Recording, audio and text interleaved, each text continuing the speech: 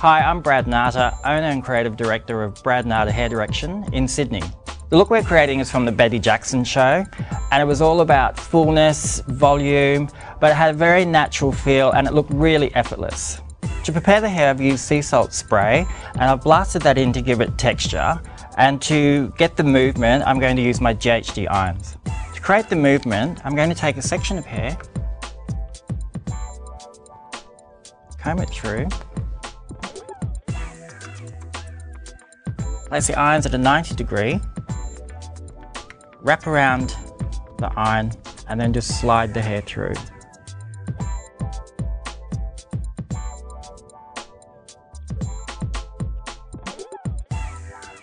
The angle determines the amount of curl. So because we've got it going in at 90 degrees, it's just slipping through the hair and creating a bend.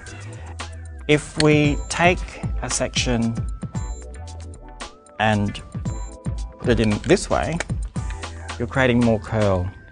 So the reason why we change the angle is just to, you know, determine how much curl we're going to get into the hair.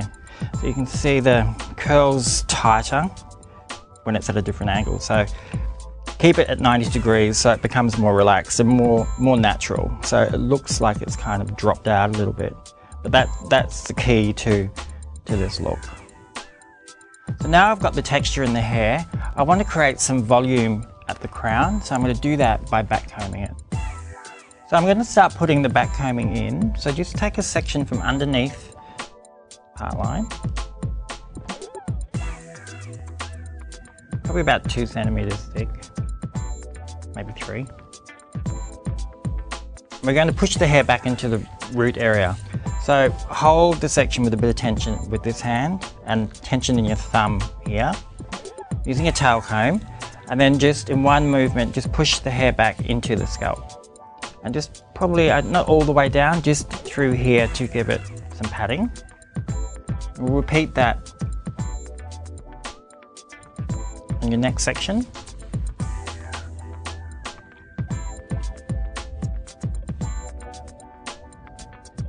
To finish the look for the Betty Jackson hair, I'm going to flip Gina's hair over and spray it with some hairspray to give me some volume and then we'll flip it back and just dress it out slightly.